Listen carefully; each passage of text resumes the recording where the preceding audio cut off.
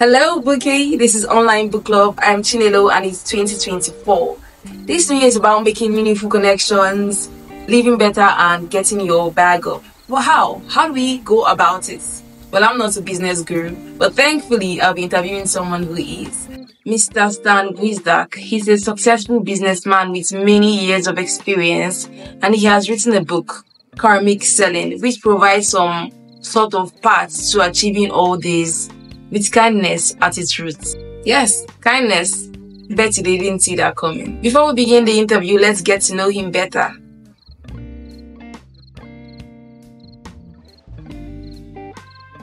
Hello, Mr. Stan. I'm happy to have you here. Thank you, Chinelo.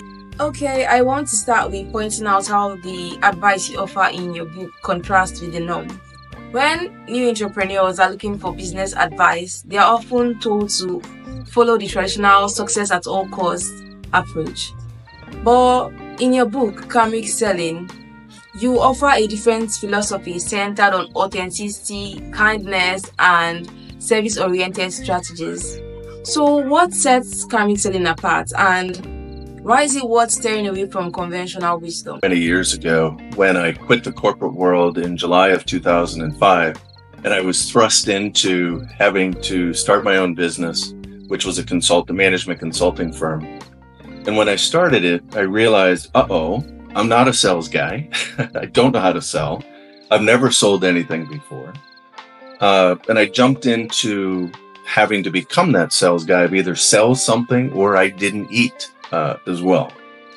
So I, I, really, after trying a bunch of different things and reading tons of different books on sales, there's a bunch of different scripts, there's a bunch of different things out there overall. But I really started what I found ended up being true to me and true to my character, which is it's in the, the middle of karmic selling, the, the book as well. But I, I started doing karmic selling because I really didn't like the combative, the aggressive sales techniques and tactics that were being used by other people. And as I mentioned just a second ago, I wanted to be true to me. I found that by cultivating customer intimacy and looking to help the customers by putting them first and really asking the customer the question of how can I help you instead of how can I sell you, ended up going much, much further and actually going and, and being successful. I then also started training others on how to do karmic selling as well. And I found that really anyone can become a great salesperson if they truly put the person that's sitting across the table from them, put them first and help them rather than sell them and the karmic selling really has delivered huge success time after time. And during my own personal career, I've sold everything from when I was a kid, I sold seeds door to door. I sold services and management consulting services, and even solar panels as well. So I found that karmic selling worked in every industry and works in every industry and around the world as well, because truly the principles of kindness and altruism are universal. They aren't just uh, something here in the U.S. And and you see, the industry tell, sells technic, tactics and techniques can be different by industry, but the sales principles really remain the same, regardless of what you're selling and, and whatever niche you're in as well. And I've even seen physicians, and actually there's a physician on the on the back of the book or in, inside the cover of the book that he is using it in his practice after reading the book and even supply chain directors and there is a supply chain director in the middle of the book as well they're adopting the karmic selling system and process because they've seen how it can work and they've seen also how it can help encourage patience or communicate new ideas across their company that works best for them and their business and aligns to their own personal values as well. Okay, let's talk evidence. You've had an extensive career in various roles and industries. Could you share a challenging moment in your corporate journey where adopting the principles of karmic selling helped you overcome? That's a perfect question. Thank you uh, tons of adversity and tons of overcoming overcoming challenges over the years. I think the biggest one when I look back to July of 2005 and when I started my first consulting firm, I was only 38 years old. I started the beginning of karmic selling, started utilizing tools such as LinkedIn and other things to reach out to potential decision makers. And at that time, I reached out to an individual that worked at General Dynamics. And he was asking a question of how to drive continuous improvement and how to drive a culture of change management in his business as well. This is when LinkedIn actually had a section called Answers, and it was where people would ask questions and you um, could give answers uh, as well. I answered the questions for him and I asked him for his email address. And I honestly, I sent him the answer. I sent him everything. I sent him the training. I sent him the approach. I gave him my notes on how I've done that at different businesses as well. So in effect, I started at that point karmic selling and I gave away 100% of the answer. The good news on the other side of that, he called me back and said, Wow, nobody gives anything away for free. I said, Well, I do. And we met face to face, and that landed my first large consulting firm when in, in my, con, my first consulting business. And that was at a time when it was just myself in the consulting firm. I didn't have anybody else around me as well. I think that's really great advice. But unfortunately, there will always be people who want to take advantage of goodness, of kindness. So, how do you strike a balance between giving, as emphasized in karmic selling, and receiving, and making and making sure your efforts are reciprocated? What advice do you have for people who fear that having a giving mindset in the business world might lead to being taken advantage of? Very, very good question, Janela. Thank you. There's many times uh, along the journey of doing this as well, and there's many times where I took a step back and said, "Wow, is is this really worth it? Is it working?" What I can say is, in my experience, when I've put good out into the world and I've I've answered the questions for free, I've given the advice for free, and I've done it in a way that I call I don't have a hook. So from the customer's perspective, I don't have a hook in them and saying, say, I'll use this as an example, say, Chinelo, I will do this for you. However, you do this for me instead. So the old I'll scratch your back if you scratch mine. I don't do that. I give it away for free without a hook. And what I found in life is when I give it all away for free, it does come back to me tenfold. I've had moments of doubt, uh, and I've ensured that it has come back to me many, many times in the world as well. And in that spirit, spirit of service, I end up building trust and momentum. And I start building a circle of trusted friends, business associates, and those things that pay results, tremendous results over time as well. Sometimes people have taken advantage of me but I always assume that the person sitting across the table is not going to take advantage of me.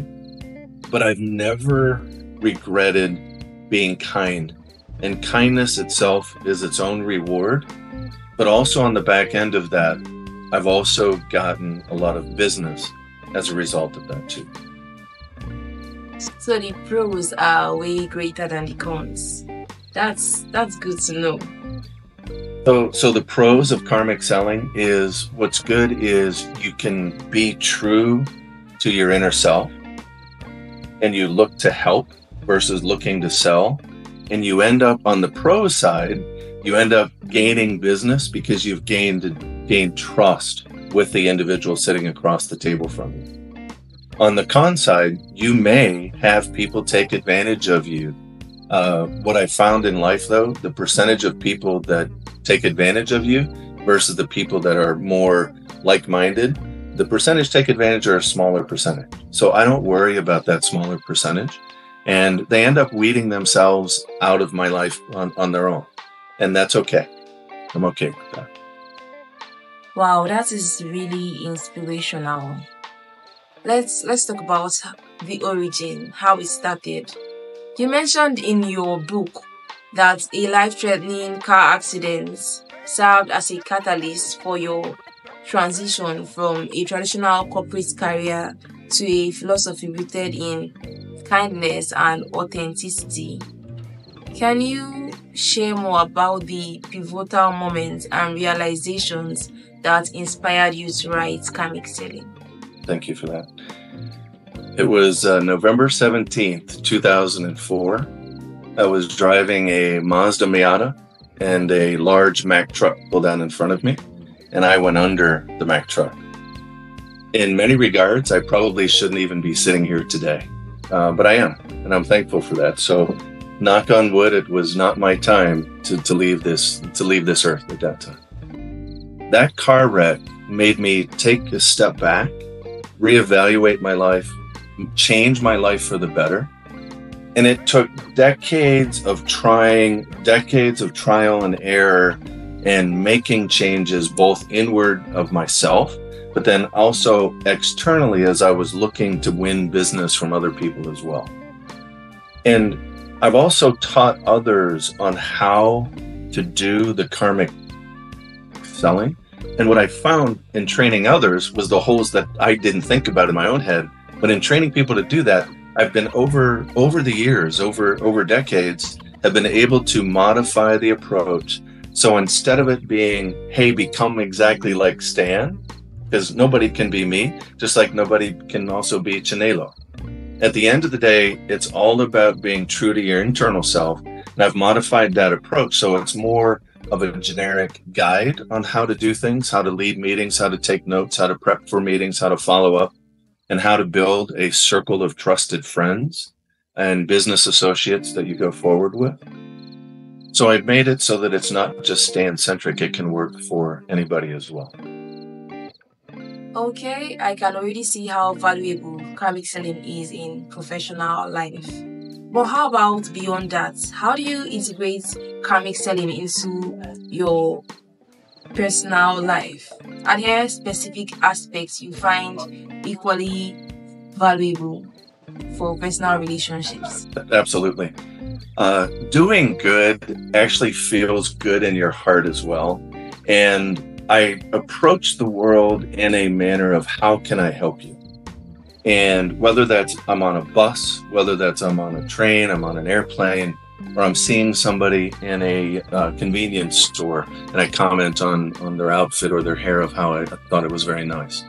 But I approach the world with that however I can help mindset in every relationship in my in my life, from my family to my community to the world at large.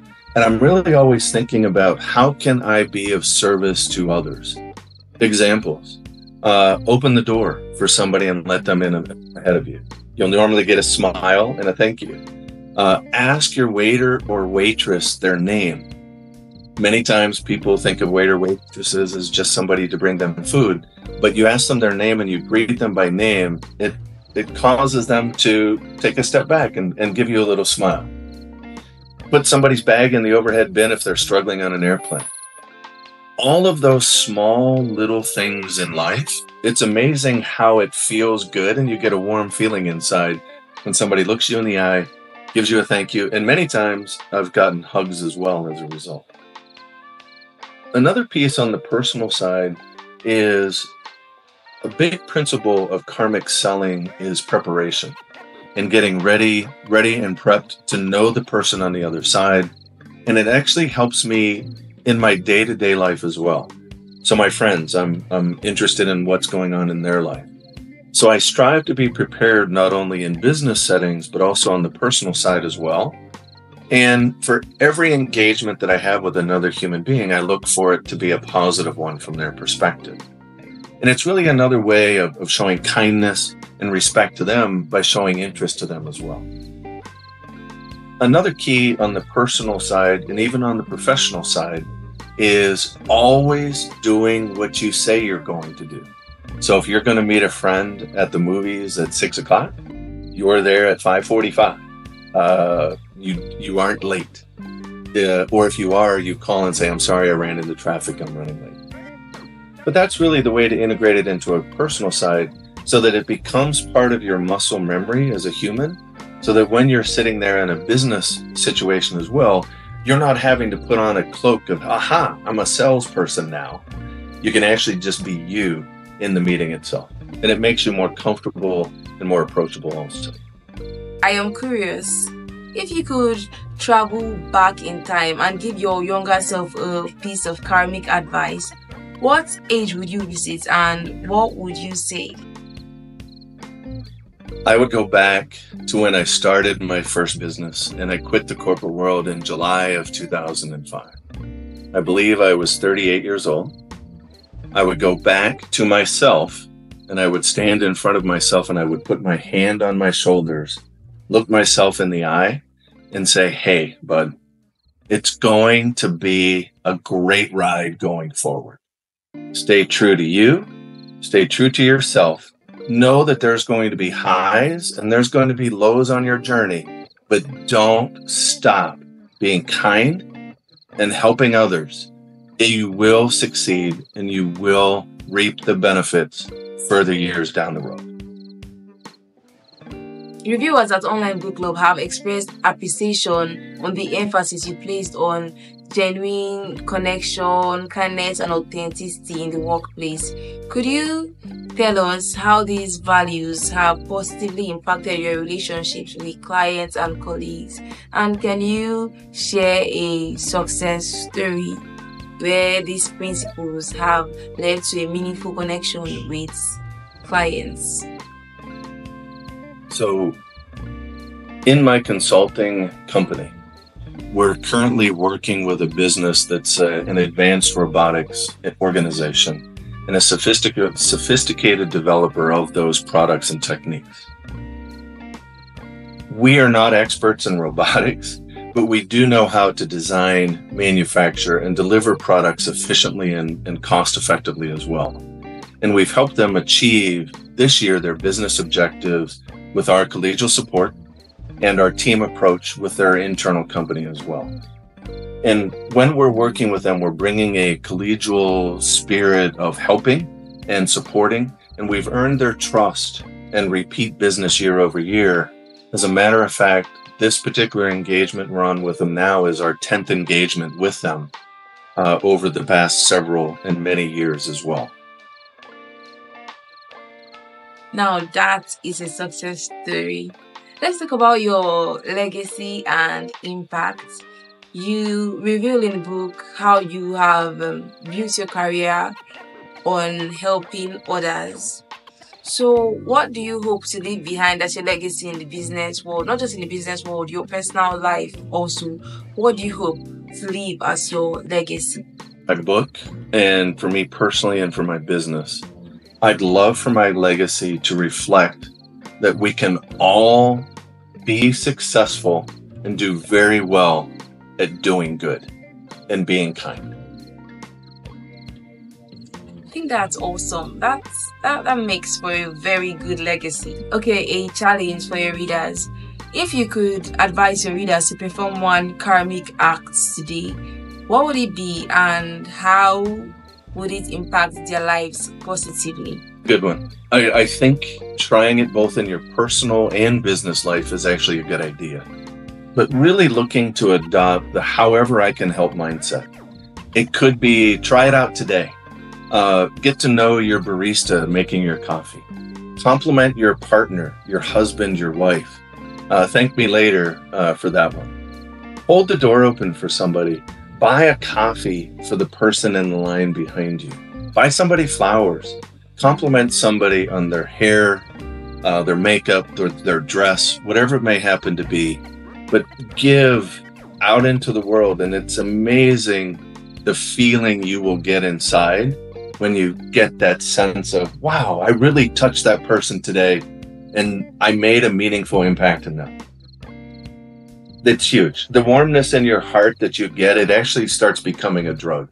I know it has for me. And it's impacted me positively by all of the people that I've connected with and touched over the years as well. I'm I'm obviously not the guy though that invented random acts of kindness. Uh, do unto others. You reap what you sow.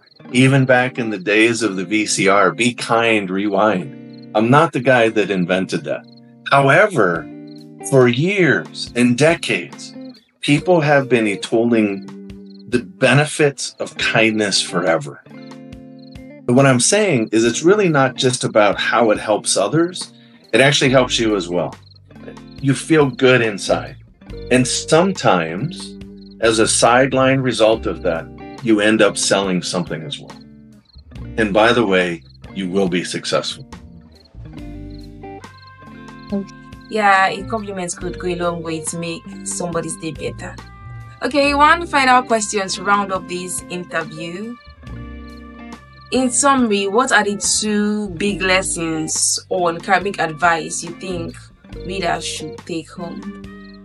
Can succeed by being authentic and kind and really looking at the approach for number two of instead of how can I sell you, how can I help you?